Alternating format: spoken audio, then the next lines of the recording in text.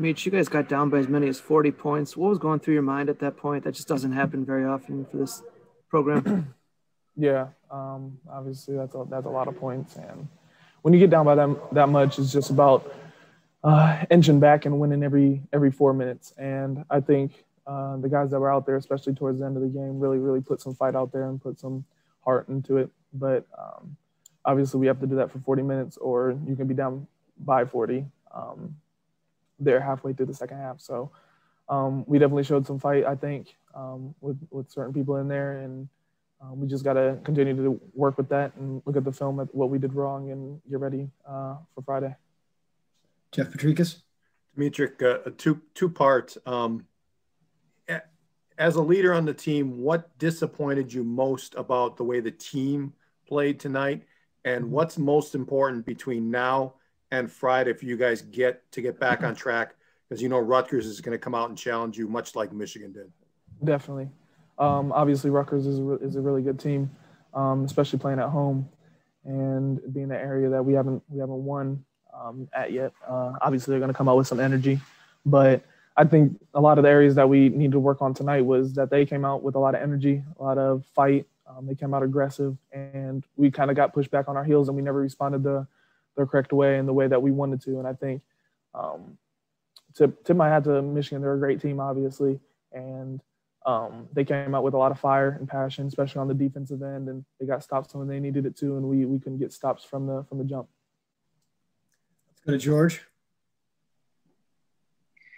Meach, after this game in the locker room, or you know, you guys talking amongst yourselves on your way back to the hotel, what what was the message from leaders and just amongst you guys?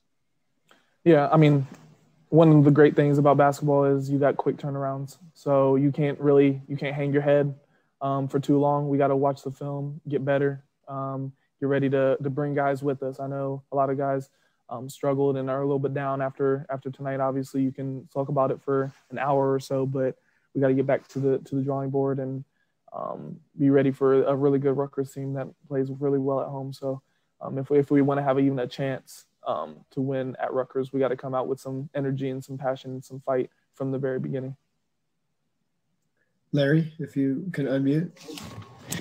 Yeah, hey, uh, Michigan's the first team to beat three ranked teams by 19 plus points. After watching what they did on film and then seeing them in person, how are they doing this? Um, well, they're a really good team. They're they're coached very well, um, and then they have a lot of players. They have playmakers on both ends of the floor. A lot of guys that can get up and run the floor. A lot of shooters. They they space the floor really well, and they're they're very disciplined in what they need to get accomplished. And um, it, it, just shows, obviously, you don't beat three ranked teams in a row um, on accident um, by more than I think it was 19 points that I saw on Twitter. But uh, yeah, got to tip your hat to them. They, they're, they're a really good team. Um, we get to play them again. Um, and like I said, we can't hang our hat too long after this. Um, we got to get ready for Friday. We got a couple more quick. Josh, go ahead. Meeks, did you feel like you guys had struggled have, being consistent offensively over the last couple games, and that sort of it just exacerbated itself tonight with how good Michigan is. When you guys kind of got into a slump against a good team, it just made that we get that much bigger. Yeah, definitely. I think. Well, obviously, um, the scoring says it all, especially there in the the start of the the second half and the late in the first half. I think um, showed that uh, we have some lapses in our offense, and we need to figure those out sooner rather than later um, and figuring out where to where we need to put guys, where we need to get guys the ball, and where we can be best at our best um, on the offensive end and continue to exploit that.